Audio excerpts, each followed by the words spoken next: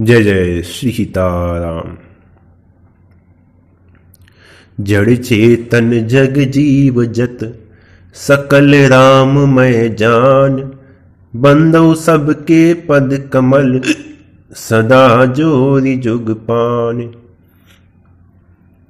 राम, सब जगह, सब रूप से व्याप्त है, और वो एक ही हैं, वो ही सर्वशक्तिमान है, और ये राम नाम, उन्हीं राम का तुरीय रूप है। इन्हीं इन्हीं जो तुरीय रूप राम है, इन्हीं से इनके जागृत रूप जो श्री रामचंद्र जी हैं दशरथ नंदन श्री राम जी हैं, उनकी उत्पत्ति हुई। और इन्हीं राम जी की जो प्रेरणा है, वही पराशक्ति या ब्रह्म है। और ये एक दर्पण की भांति है जिसमें राम जी की कल्पना, उनकी प्रेरणा शक्ति विभिन्न स्वरूपों में अनेक प्रतिबिंबों के रूप में दिखाई दे रही है, जो कि विश्व रूप है।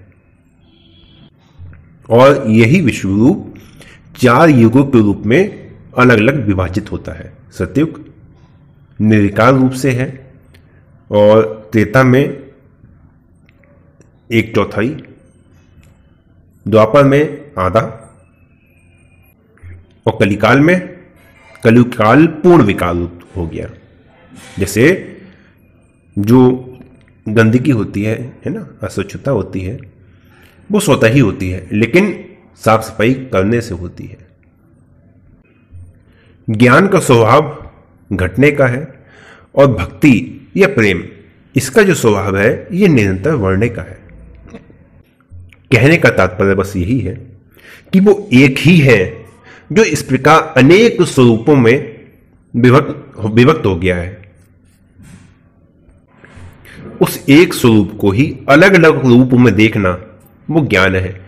और उस एक स्वरूप श्री राम जी से जो प्रेम हो जाना है वही भक्ति है। यदि कोई साधक सब साधन का सार छोड़ केवल एक राम नाम का आश्रय ले ले तो उसको यह ज्ञान भी प्राप्त हो जाता हो जाता है और राम जी से प्रेम होने के पश्चात उसको भक्ति योग की भी प्राप्ति हो जाती है। और वही भक्त साध, सब साधन को छोड़कर जब राम नाम जपने लगता है तो वो राम जी को अतिशय प्रिय हो जाता है। और वो वो उसे सभी प्रकार के भय से मुक्त कर देते हैं। वो उसे निर्भय बना देते हैं। हलालयम्बा विषयानलम्बा मृत्यु मुकुम्बा को तो भयम। फिर किसी भी वस्तु का, किसी भी भय का उसके जीवन में कोई स्थान नहीं रहता। और भला उनके भक्त को कोई सता, कोई परेशान कैसे कर सकता है?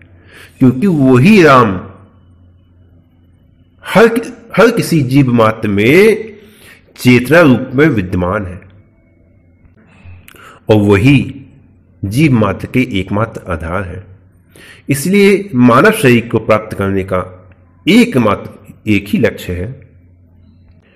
देह धरे कर यह फल भाई, भजिए राम सब काज बिहाई। कबहू करी करुणा नर दे देत ईश बिनु हे तु सने ही ये मानव शरीर, मानव देह। हमें किसी हमारी तपस्या, किसी पुण्य के फल के कारण नहीं मिला है।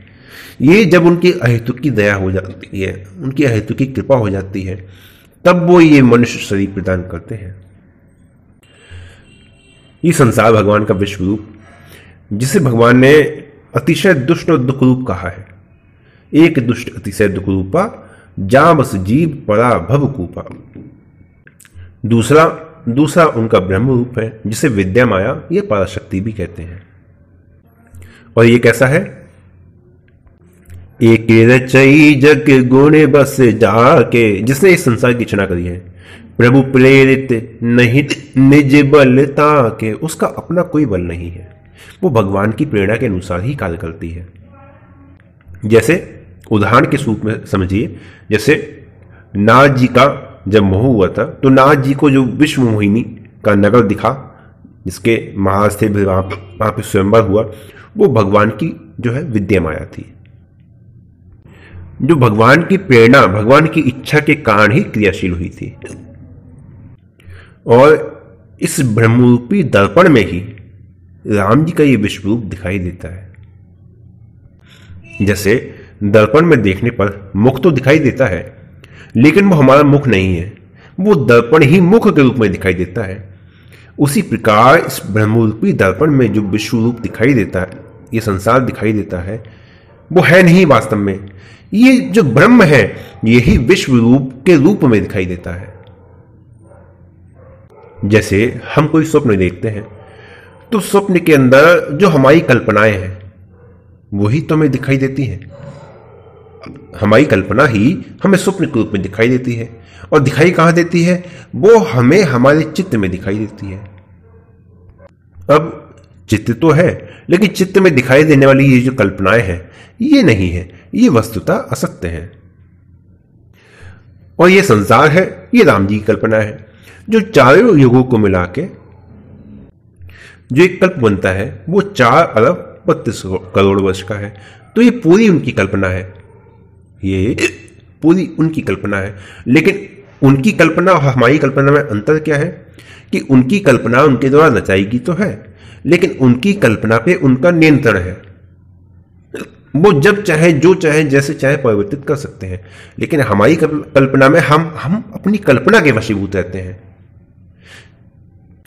और जब हम अपनी ही कल्पना को नहीं परिवर्तित कर सकते तो फिर हमारे सामने ये जो संसार है, जो विश्व रूप है, जो भगवान की कल्पना है, उसको तो हम परिवर्तित कर ही नहीं सकते। राम कीन चाहे सोई हुई, वही होगा। अब हम सो रहे हैं, स्वप्न देख रहे हैं। हमने कोई सपने देखा तो उसको हम परिवर्तित कर सकते हैं क्या? नहीं कर सकते। लेकिन उसी समय हम जाग जाएँ, हम जागृति में आ जाए। अब वो स्वप्न तो हमारा है। हमें पता है कि स्वप्न में क्या क्या था। अब जब हम जाग गए हैं, जागृति में आ गए तो अब हम अपने स्वप्न की जो कल्पना है, उसको हम परिवर्तित कर सकते हैं। क्यों? क्योंकि अब हम जागृति में आ गए हैं। और राम जी, वो यही कल्पना रूप से है, विश्व रूप से है, ब्रह्म रूप से है, जागृत रूप से है। वो जागृति में भी है वो संसार रूप से भी है। इसलिए वो जब चाहे तब इसमें परिवर्तन कर सकते हैं। हुई है सोई जो राम रची राखा। और जैसे हमने स्वप्न देखा, स्वप्न में भयभीत हो गए। अब हम जाग गए, जागृति में आ गए ना। अब जागृति में आ गए तो भय रहेगा, नहीं रहेगा। यदि भी हम उसे परिवर्तित कर सकते हैं। हम सोच, हम विचार करें नहीं, हम नए नहीं भयभीत होंगे, हम इसको परिवर्तित कर देंगे। लेकिन अब तो जाग गए ना, अब तो पता चल गया ये असत्य है। ये तो कुछ था ही नहीं। तो परिवर्तन की आवश्यकता भी नहीं होगी और भय भी नहीं होगा। उसी प्रकार इस संसार में जब राम राम करते हुए आत्मज्ञान हो जाता है, समझ में आ जाता है, जागृति को प्राप्त हो जाते हैं, तब यह समझ में आ जाता है कि संसार राम जी का कल्पना रूप है। फिर इसको परिवर्तित करने की आवश्यकता भी नहीं होती, क्योंकि फिर यह ज्ञान हो जाता है कि यह असत्य है। सत्य हरि भजन, जगत सब सपना। और इसी को ब्रह्म ज्ञान कहते हैं कि संसार असार और असत्य लगने लगता है। लेकिन आज के समय में ब्रह्म ज्ञान बिन नारी नर, करही न दूसर बात। और कौड़ी लागी लोभ बस, करही विप्र गुर घात। लेकिन यह आवश्यक नहीं है कि एक बार आत्मज्ञान हो गया, इस विश्व रूप से बाहर निकल गए तो फंस नहीं सकते। दोबारा से फिर फिर फंस सकते हैं। जहाँ थोड़ी सी असावधानी हुई कि ये विश्वरूप पुनः अपनी गिरफ्त में ले लेगा। तो इससे बचने के लिए फिर राम नाम है। क्योंकि राम नाम सीधे उठा के जागृति की स्थिति तक पहुँचा देता है। जाने हो तब ही जीव जग जागा, जब सब विषय विलास विरागा और सबसे वैराग्य उत्पन्न कर देता है। और राम नाम लेते लेते, राम नाम करते करते ये भी पता लग जाता है कि अगुण सगुण बिच नाम सुसाकी, उभय प्रबोध चतुर्धुभाषी, कि नाम दोनों का ही ज्ञान करवाने में समर्थ है। वास्तविक जगत गुरु तो ये राम नाम ही है। जगत गुरु चा शाश्वतम तुरीय में केवलम। और केवल यही है जो तुरीय रूप है। और राम नाम करते करते ये स्वतः ही आभास होने लगता है कि विश्व रूप उनका सुश्रुत रूप है। विश्व रूप उनका स्वप्न रूप है। जो ब्रह्म रूप है वो सुषुप्त रूप है। जो जागृत रूप है वो धनुष्वाणधारी श्री रामचंद्र जी। और ये बात भली भांति समझ में आ जाती है कि राम जी ही सब रूपों में है। बाकी जितने रूप हैं वो सब झूठे हैं। और जो रा, राम जी का रूप है वो ही एकमात्र सत्य है और वही एकमात्र सत्य है। और ये समझ में आने के बाद कि सब रूपों में सब स्वरूपों में एकमात्र मेरे श्री रामचंद्र जी ही है। मनुष्य को सहज ही भक्ति योग की प्राप्ति हो। सहज ही राम जी की भक्ति की प्राप्ति हो जाती है।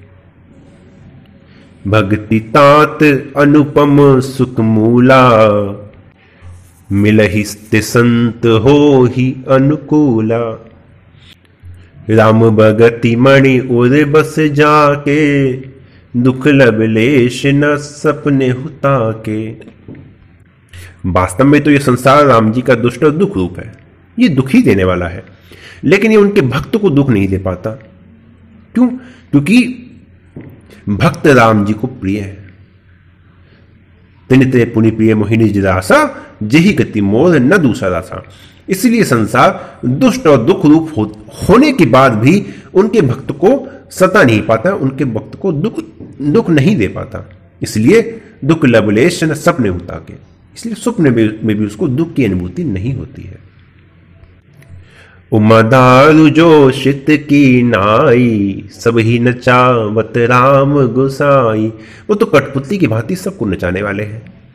अब सा, सामने तुम्हारे चाहे तुम्हारा जन्म जन्म का दुश्मन ही क्यों ना खड़ा हो उसको भी नचाने वाले वही तो है। उनकी इच्छा है। प्रेम करेंगे वो तो तुमसे। तो वो गले तो गले लगा लेंगे वो क्यों क्यों मारेंगे तुम्हें? नचाने वाले तो वही है ना। वो तो जानते हैं कि ये सामने जो खड़ा है वो मेरा है। इसके सामने जो खड़ा है, इसको नचाने वाला मैं हूँ। ये तो मेरी इच्छा के अधीन है ना। तो जो सामने मेरा है, मैं तो उसको प्रेम करूँगा क्योंकि सबके अंदर वही तो है। उल प्रेरक रघुवंश विभूषण, वही तो प्रेरणा करने वाले हैं। तो इसलिए राम जी के वक्त सबसे अवैध रहता है, सबसे निर्भय रहता है। और बल जहाँ, बल की बात आ जाए तो सकल सुरा से जो ही जो राम ही समान न जीतना हारा। तो फिर हमारे रघुनाथ जी को कोई जीतने वाला पैदा नहीं हुआ। ऐसे जो हमारे रघुनाथ जी हैं, कोमल चित्त, अति दीन दयाला, कारण बिन रघुनाथ वाला, वो उनका नाम, ये एक ही है। नाम का आश्रय ले लो तो उनका आश्रय ले लिया, उनका आश्रय ले लिया तो नाम का आश्रय ले लिया। वो दोनों एक ही है। समुचित सदस्य नाम और नामी, प्रीति परस्पर प्रभु अनुगामी। इसलिए यदि उनसे संप का अनुभव ना हो, उनसे प्रेम ना हो, उनसे लगाव ना हो तो भी यदि नाम का आश्रय ले लिया जाए, यदि जीवा को नाम में लगा दिया जाए तो सहज ही श्री रघुनाथ जी की प्राप्ति हो जाती। सहज ही उनसे प्रेम हो जाता है। जिस तरह हमारा नाम हमारे शरीर से जुड़ा हुआ है यह हमारे शरीर से दूर नहीं होता। ये हमारे शरीर के साथ अन्य रूप से जुड़ा हुआ है। उसी प्रकार ये राम नाम और राम जी है। जहाँ राम जी का नाम है, जहाँ राम जी का नाम आपकी जीवा पर है, जहाँ नाम आपके हृदय में चल रहा है, वहाँ राम जी आपके निकट है। वहाँ राम जी आपसे जुड़े हुए हैं। वो आपसे दूर जा ही नहीं सकते, किसी भी परिस्थिति में नहीं। और ये कोई बात नहीं है। ये कोई बात नहीं है, ये सत्य बात है। सुमरिय नाम रूप भी नहीं देखे। रूप नहीं देखा, नाम जप रहे हैं। आमत हृदय सने विशेषे। वो तो नाम के साथ है ना, वो हृदय में आ जाते हैं। यही राम की महिमा है कि राम जी को देखा नहीं। राम जी के स्वरूप को नहीं देखा, लेकिन राम राम करो तो उनसे प्रेम हो जाएगा। ये ऐसी नाम की महिमा है। ऐसे नाम में लगने के लिए केवल एक ही बात, राम जी का एक ही संकल्प कि एक भरोसो, एक बल, एक आस विश्वास एक राम रघुनाथ हित चातक तुलसीदास। श्रद्धा सब में रखिए। ठीक है, श्रद्धा सब में रखिए क्योंकि सब भगवान की विभूतियाँ हैं, सब भगवत स्वरूप ही। हैं लेकिन इष्ट देव सोई मम इष्ट देव रघुवीरा, सेवत जा ही सदा मुनि धीरा। शंकर जी भी कहते हैं ना, वही मेरे इष्ट देव हैं। भले ही कुछ सामने आ गया, ब्रह्मा जी को प्रणाम कर लिया, और जो भी आ गया सामने, सबको प्रणाम कर लिया। यहाँ तक कि जो शंकर जी को राम राम सुनाता है, शंकर जी उसको भी प्रणाम कर लेते हैं। लेकिन सोई मम इष्टदेव देव रघुवीरा सेवत जा ही सदा मुनि लेकिन इष्टदेव मेरे भी एक हैं। इसलिए इष्टदेव एक ही रखिए। एक के ही आश्रित रहिए, एक के बल के भरोसे रहिए, एक पर ही विश्वास कीजिए। राम राम करिए, नाम जप करिए। आज के लिए यहीं विश्राम देते हैं। जय जय श्री सीताराम।